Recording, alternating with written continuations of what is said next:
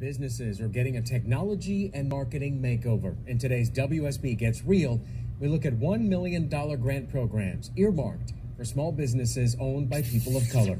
Gets Real is our effort to not only look at problems, but also solutions impacting our community. Channel 2's Justin Farmer is live now with the well known business behind this effort. Justin? Yeah, George, this is really generous with the millions that are in play here. Some major companies, right, have made headlines and taken criticism for taking a stance on various political issues over the past year.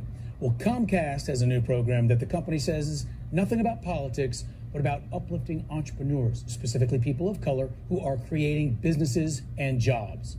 I created this. I own the intellectual property. I created this coffee. Sabrina Scott Pappas is achieving the American dream, starting her own Atlanta based coffee company, the Extra Special Beverage Company. They indicated that I had won a technology makeover, which was apropos because now I'm about to scale in a big way. A couple of household name grocery stores are about to carry Sabrina's K cups. They're branded as Writer's Fuel. She's openly giving some credit to Comcast, the communications company behind a new program called RISE. It's awarding money, resources, and technology to businesses owned by people of color.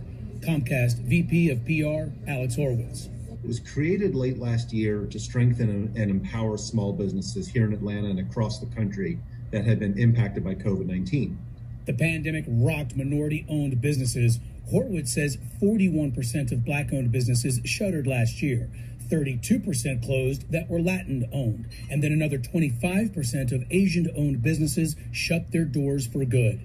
Sabrina is grateful. She's thriving with Comcast's corporate help.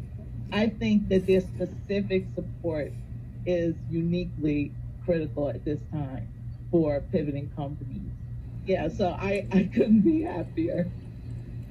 Man, we applaud the entrepreneurs. There's no safety net in that world. The program's ongoing. If you'd like to apply for your company, reach out to ComcastRise.com. We're also putting a link at WSBTV.com. Look for links mentioned on TV.